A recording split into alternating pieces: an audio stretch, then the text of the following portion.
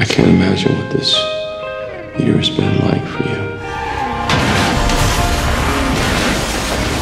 My parents died going over this bridge. I almost died. You're strong. You're beautiful. You're good. You're the liar. You're mutilating yourself. Promise me you'll never cut yourself again. And I don't want to be saved and I want you to be happy. Is that what you're doing? Trying to make me hate you? It's because of me. Everything is because of me. And to me, and most of all, reminding yourself.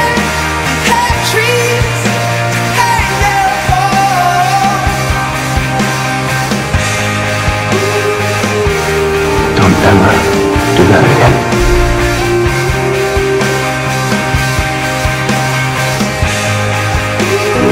I'm so sorry that you've lost so many people.